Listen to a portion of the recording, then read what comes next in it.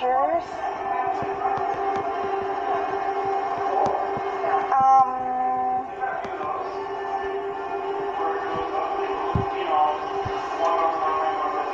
okay. Well, here we have the Runaways. First learned about them through the show on Hulu, which I watched on Disney Plus. Uh, first season was okay. First half of the second season was pretty good too, but halfway through sec- the second season, I kind of lost interest.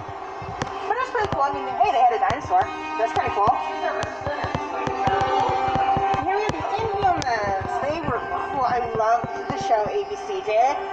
I will say it only lasted a season. Because I thought they could have done more, but they left it at a good place. I know a lot of people didn't like it, but I, I loved it. Loved Medusa's hair in that show, how they got it to do like all kinds of crazy things like it's supposed to.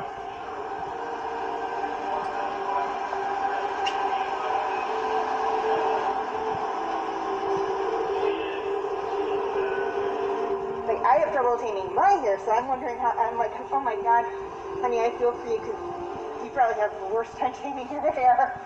Although she probably wants her hair to do all kinds of crazy things. Okay, here we have Ms. Marvel. At least I think it's Ms. Marvel. says Ms. Marvel. She's okay. I kind of liked her better in um, Have Captain Marvel, who is her boyfriend. Or at least in some of the TV shows, he's her boyfriend.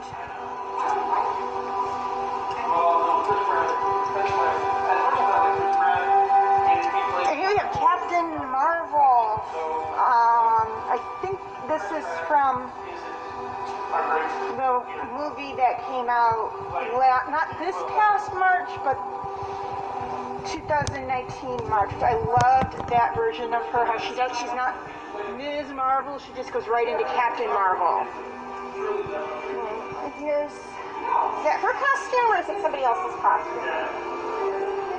That is her costume before she changes it to the iconic red, gold, and blue for the Air Force colors.